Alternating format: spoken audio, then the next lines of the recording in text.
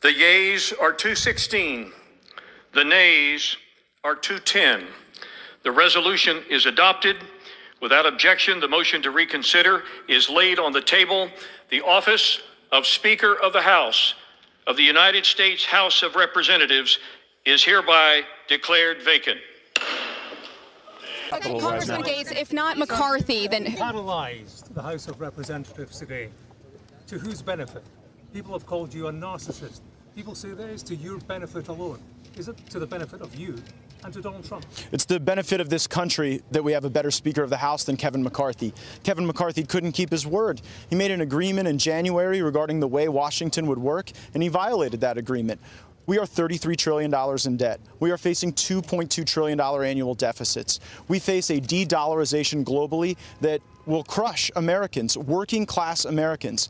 Kevin McCarthy is a feature of the swamp. He has risen to power by collecting special interest money and redistributing that money in exchange for favors. Uh, we are breaking the fever now, and we should elect a speaker who's better. so if not Kevin McCarthy, then who? Then who? You said last night that Steve Scalise was a name that you floated to potentially be Speaker. Where do things stand right now? If not McCarthy, then who? Well, uh, you know, the stages of grief, I think, are uh, in progress right now with some of my colleagues. I think there was a stage of denial, and I've certainly experienced a good amount of their anger, and now we appear to be headed toward bargaining. I think the world of Steve Scalise. I think he'd make a phenomenal speaker. Washington must change. We have to break the cycle. Kevin McCarthy is the Speaker of the House of Representatives, and he has failed to take a stand where it matters.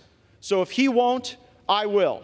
The office of Speaker of the House of the United States House of Representatives is hereby declared vacant. There's 222 Republicans up there. There's 190 of them that are not moving away from Kevin McCarthy. They're just not. if he were to continue to be speaker, there would be chaos that would continue because he's not been honest with either party. Kevin McCarthy is a feature of the swamp. He has risen to power by collecting special interest money and redistributing that money in exchange for favors.